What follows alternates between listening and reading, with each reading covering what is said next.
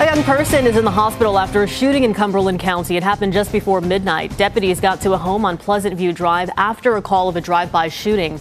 Inside, they found the person who was shot. That victim is expected to be okay. Detectives are still investigating what led up to the shooting.